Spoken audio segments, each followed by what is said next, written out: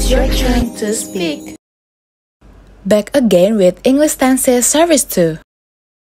Before we start, don't forget to subscribe our YouTube channel to get early notification and also follow us on Instagram and TikTok right here to see more videos about English educations and also public speaking.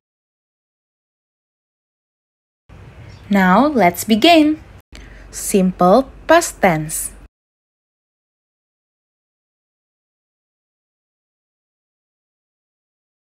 An affirmative sentence, the form is subject plus was or were plus the rest of the sentence.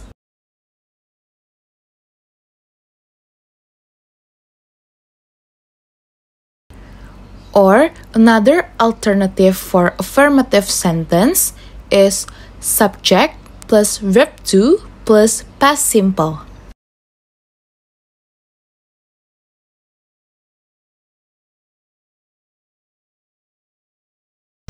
On negative sentence, the form is subject plus was or were not plus the rest of the sentence.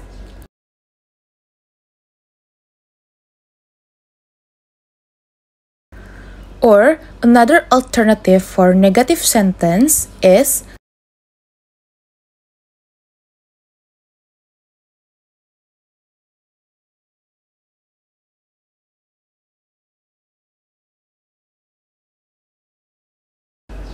Lastly, interrogative sentence.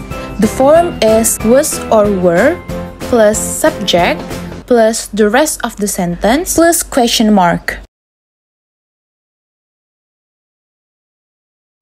Or another alternative for interrogative sentence is did plus subject plus bare infinitive plus question mark.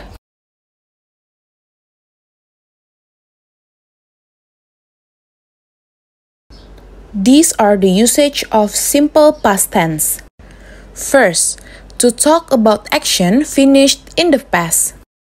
For example, I met him last week. Second, to talk about a series of actions completed in the past. For example, I woke up, had breakfast, and went to school. To help you make sentence easier, here's are a few signal words that you can use.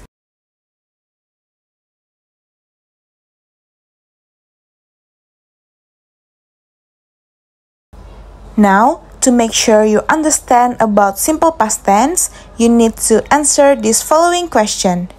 Susilo Bambang Yudhoyono, blah blah blah, the president of Indonesia. Answer your questions on the comment below.